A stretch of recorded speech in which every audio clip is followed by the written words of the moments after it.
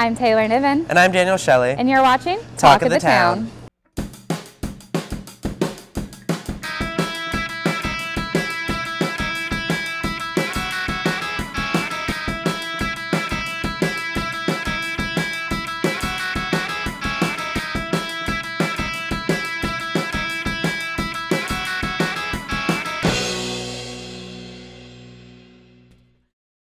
Thanks for watching this episode of Talk of the Town, your on-campus source for entertainment news. Up first, we have Casey and Kelsey's Creation, your Carolina resource for cooking, clothing, and crafts. After that, catch up with Brittany and Khadijah for all of your on-campus gossip. Hi, I'm Casey. And I'm Kelsey, and this is Casey and Kelsey's Creations. Your Carolina resource for cooking, clothing, and crafts. The first thing we're going to do today is we're going to take a t-shirt and we're going to turn it into a no-sew vest. And then we're going to finish it all up by taking some Rice Krispie treats and making it into a football. For our first DIY project, all that we need is a t-shirt. And a pair of scissors. Okay, this is very easy. It, you, all you have to do is cut up the shirt and then you're going to make a really awesome vest. So to start, you're going to draw an invisible line along the, hold it up,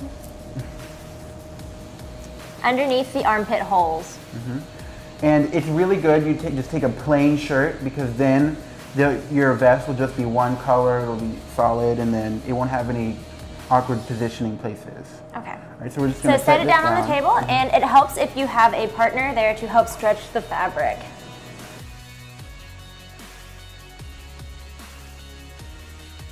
All right, so. So now basically you have a crop top. And then you have what you're actually going to need for your vest. A tube top. All right, so we're just going to scrap the top. And I'll Scrap the crop top, you don't need that. Yeah, throw that to the side. Right. So you take your tube top and you're going to cut a line right down the middle. Yeah. So if, if you're looking at it, it's um it's like a shirt. So, so you're only going to want to cut one line so it becomes one really long rectangle. Okay. Once again, I will need my lovely partner to help.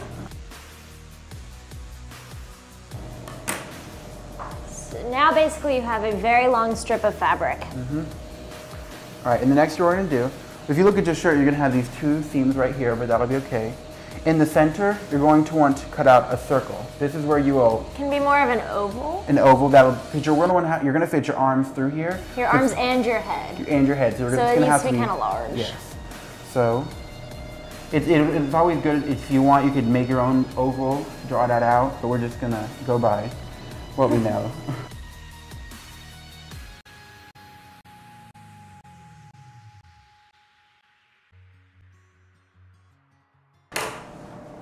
So now you're left with this strange looking piece of fabric. How is this a vest, you ask?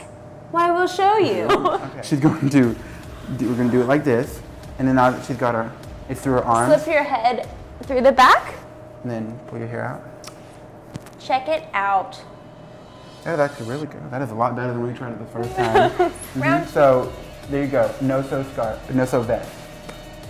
And now on to cooking. What we're gonna do is we're going to make Rice Krispie treats and then shape it into a football. All right, so if you don't know what you need, you're going to need Rice Krispies. We have the brand, or anything with really work, works. Butter, marshmallows. We got quite a lot because we're gonna use the whole box. A bowl so you can microwave your marshmallows and something to mix it in.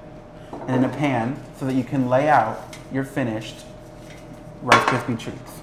All right, so what you're going to do first is you're going to take your bowl and you're going to pour all your marshmallows into them. What you're going to need is a microwave when you actually, when you actually, when you actually to melt them.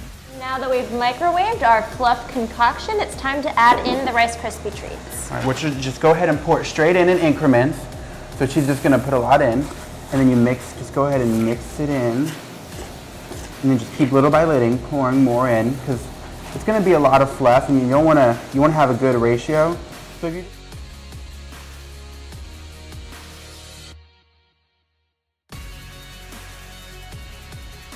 It's all mixed up.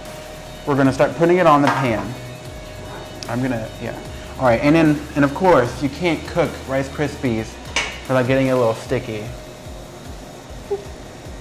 That's where Kelsey comes in because Casey doesn't do the dirty work. I don't do not all the time. In honor of our pumpkin, last week, last show, Okay. This is worse than the pumpkin. but it'll taste a lot better. We didn't eat the pumpkin. All right, so what I just did was I just made another bowl, mixed it up, and we're gonna add it into the first batch. All right, now it's my turn to get dirty. Uh-huh. Just gonna roll up my sleeves. Ugh. Have fun.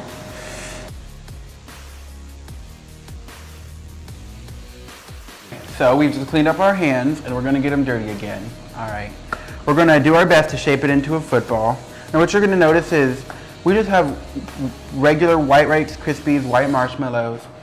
If we were at, like, if you're gonna go tailgating and you wanted to do this, Like if you want to be legit, legit, like, like use the chocolate Rice Krispies. cho- like one, you get chocolate Rice Krispie treats and that's, that's amazing. But two, it'll be round like a football and then you get some white icing or you could even use like leftover marshmallow chocolate. fluff. Whi- Oh, white, cho- white chocolate, that's good. Just, and then drip it into the, um, I don't know that thing that people hold on the, football. yeah, the, the white part. um, let me see, we're not, we're not exactly members. We're not of. really like sports people. Yeah, we're definitely not the next candidates for Capital City Sports, No. so talk of the town. All right, so here we go. Okay. Yeah, I'm gonna let you start this one up here, bud.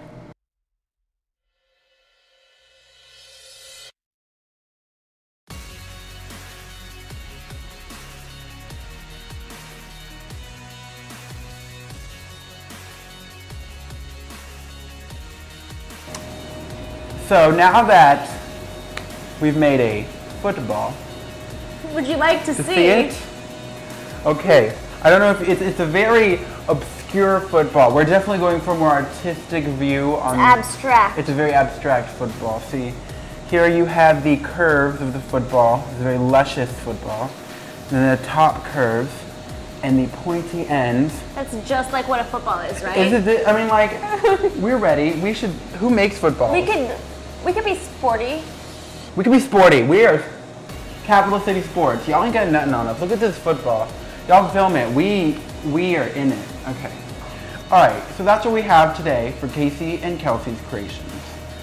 So we may not be the most, you know, crafty, but we are very creative, and I know- guess that's what counts. We're not the best, but we, we definitely try. This is just to give you the idea. See that you can do it. You can take Rice Krispie treats, make a football. You can make anything with Rice Krispie treats. You can make your own picture frame. You can make you can make a vest out of a T-shirt you don't even wear anymore.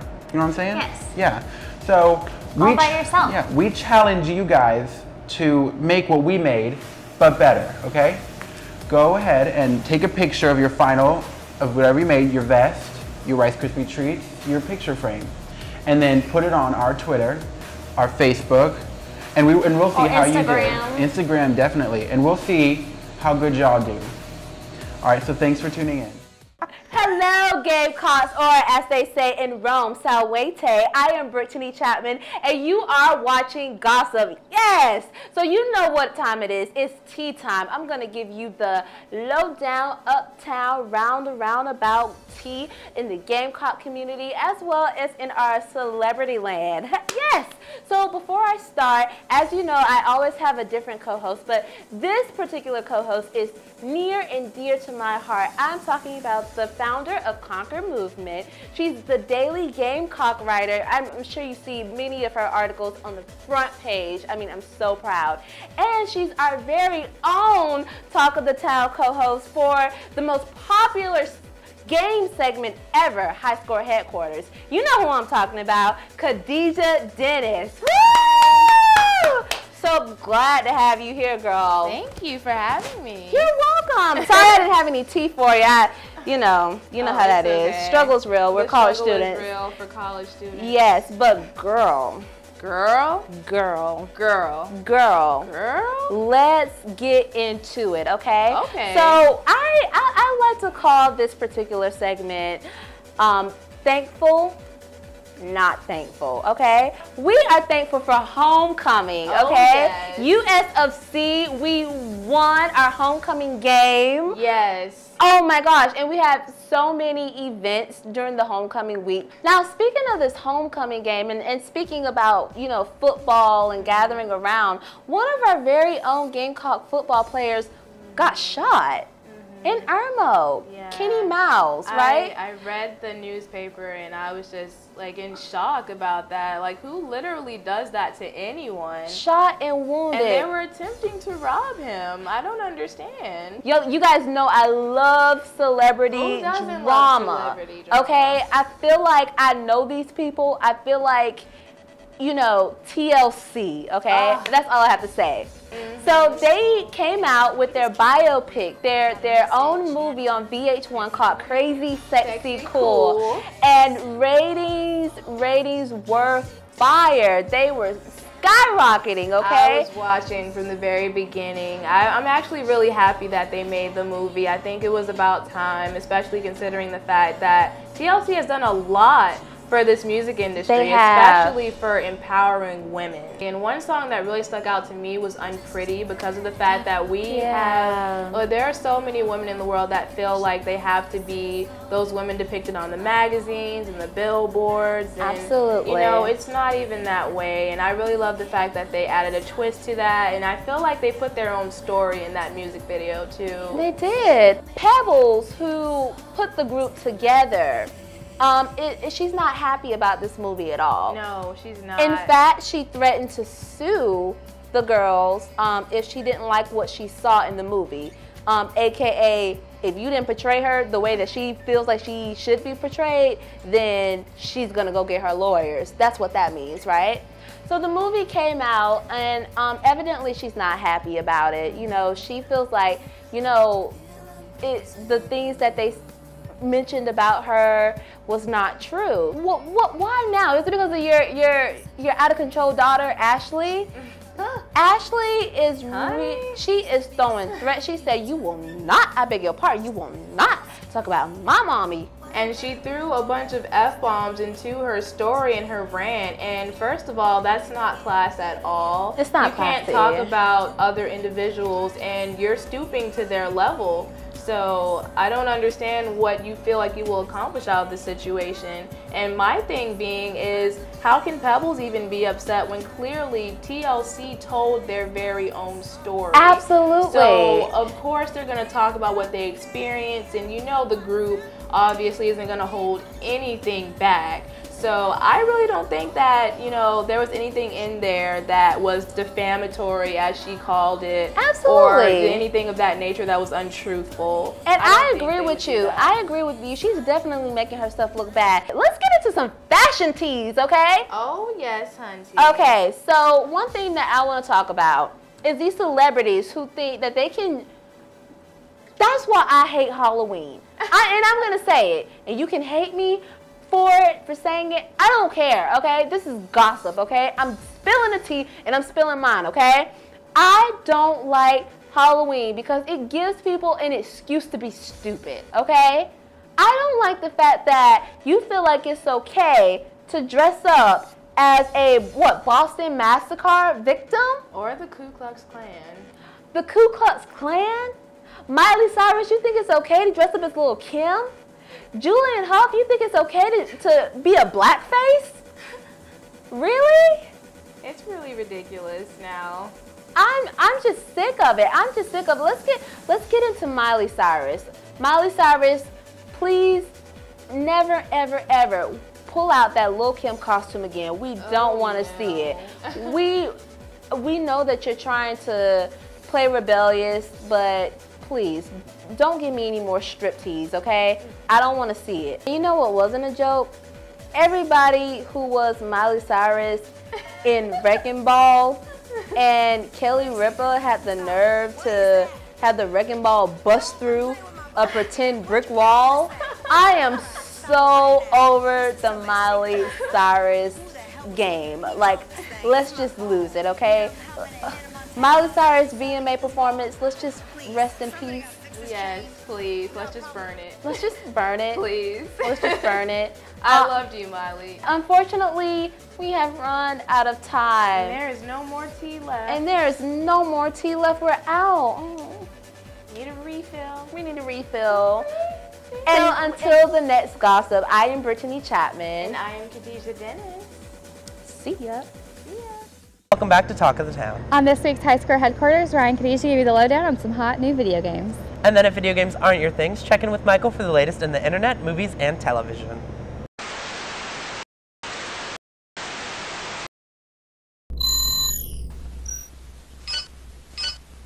Do not adjust your television set. This broadcast frequency is being hijacked by the high score headquarters. We ask that you please pay close attention, as the following information is classified. Welcome to the HQ. So the Call of Duty and Battlefield franchise have been known for being two of the most popular first-person shooter games. And now Ryan and Tan will be giving you the specifics and the reviews of what you loved about each game. Call of Duty Ghosts came out on November 5th. And like most Call of Duty games, the best part is the multiplayer. One of the biggest changes to the multiplayer in this game is that the maps change, meaning if you set up a bomb in a building, that building will come crashing down. But your argument is invalid, Ryan, because Call of Duty copied the interchangeable maps from Battlefield, because Battlefield has been doing it for like the past two games. And now they've upped the ante. You can destroy a dam and flood the map. You can destroy a six-story hotel that will come caving down around you. And yeah, now they still have their 64-player conquest game mode and many vehicles and such. So it's more of a real game, more realistic warfare, all that, all that good stuff. But it's a video game. We don't want it to be realistic.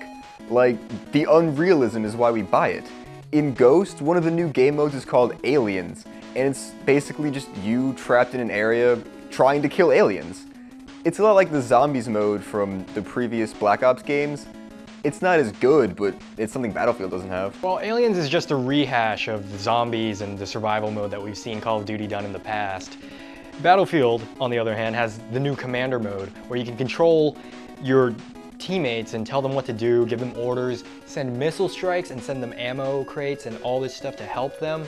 You're pretty much becoming a commander, a real commander. Again, real warfare. Ghost has new game modes too, like the new Squads mode, where players get to customize their own squads and take on other squads around the world based on their class.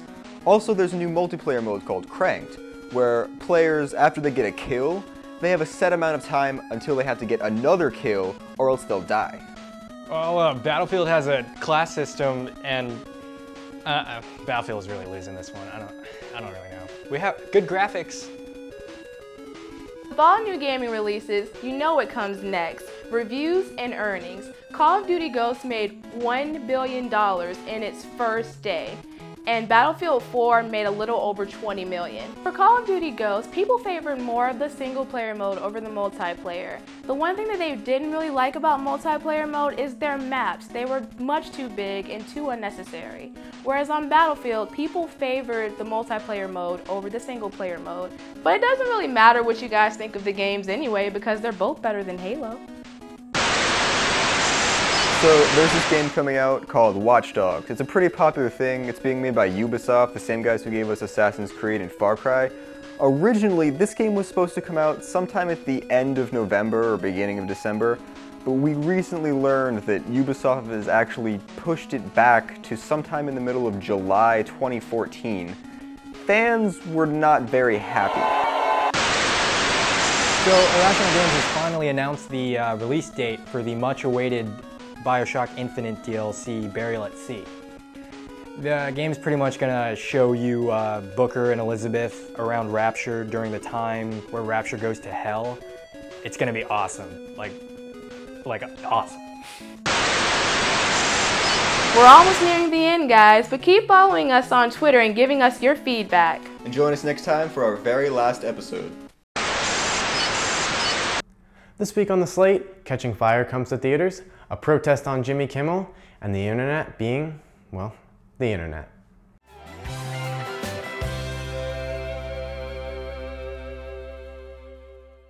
Welcome to the first episode of The Slate, where we keep you up to date on all things video, including movies, TV, and the internet. Our first piece of news from the big screen is that director Justin Lin has signed on to direct the next Bourne sequel. Coming from the Fast and Furious movies, this seems to be a good fit, as Lin was able to revitalize that once dead franchise with success in the past three movies. He'll have to do a similar facelift to a franchise that saw box office and critical failure with the Bourne Legacy. In other news, Jesse Eisenberg and Kristen Stewart will be opposite each other for the first time since Adventureland in a new movie called American Ultra.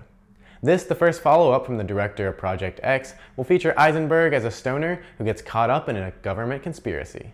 It's now being rumored that Emma Stone and Jonah Hill are being offered roles in the new upcoming Ghostbusters film. This would be a great land as two fantastic actors could try and help save this franchise from a terrible and unnecessary reboot. For what's going on in theaters right now, the much hyped Ender's Game has been once again a disappointment this past weekend, grossing just $44 million in its first two weeks, while Thor The Dark World grossed over $86 million in its first weekend and is number one at the box office right now. Coming into theaters over the next two weeks is Old Boy starring Josh Brolin, Black Nativity, which is a weird release date for a Christmas movie, Mandela, which basically describes it in the name, Frozen, a Disney animated movie starring Kristen Bell, and The Delivery Man, which could be Vince Vaughn's return to comedy or something as terrible as his last five movies. All of these individuals have one thing in common. David Wozniak, you are the biological father of 533 children. What? As your lawyer, I was thinking we could plead insanity. I don't have mental problems. I don't have mental problems! When we're in court, I want you to say it exactly that way. But most significantly coming to theaters this week is The Hunger Games Catching Fire. She has become a beacon of hope for them, so she has to be eliminated. What do you think? I agree she should die, but in the right way, at the right time. This sequel, following up the massively successful original based on the book series, continues the story of Katniss Everdeen and will inevitably take over Thor as the top movie at the box office this weekend. Go ahead. Her entire species must be eradicated. Her species, sir? The other victors. Because of her, they all pose a threat. Because of her, they all think they're invincible. In TV news, Bill Cosby has begun to work with former Cosby Show producer Tom Werner to write and produce a new family sitcom that he says will bring the warmth and forgiveness back to comedy. Over 1,500 Chinese American protesters were outside of an ABC studio in Burbank, California, protesting an episode of Jimmy Kimmel that featured children saying they should kill all people in China. America owes China a lot of money $1.3 trillion. How should we pay them back? Shoot cannons all the way over and kill everyone in China. Kill everyone in China? Yeah. Okay, that's an interesting idea. Although ABC and Jimmy Kimmel have both issued apologies, this episode, which aired almost two weeks ago, is still receiving backlash. ABC is not the only one apologizing, as CBS ended Sunday's 60 Minutes broadcast with a correction on a story from October 27th about the attack on Benghazi. Lara Logan stated that CBS News was misled by their informant Dylan Davies, who was there on the night of the attack. The only major show premiering this week is a special episode of Doctor Who, which will honor the 50 year anniversary of the show and premieres on November 23rd. Moving to the online space, YouTube has really shaken up the internet this week by installing a new comment system on their site that has left subscribers and content creators alike very disappointed. YouTube's new comment system is literally the worst change in the entire site's history. I was always wondering why YouTube comments would show up in my YouTube inbox. It's really counterintuitive. I was really looking for them on my Google Plus account I don't own. Thank heavens they've implemented this feature. And how are they changing With it? comment moderation. Via Google Plus account.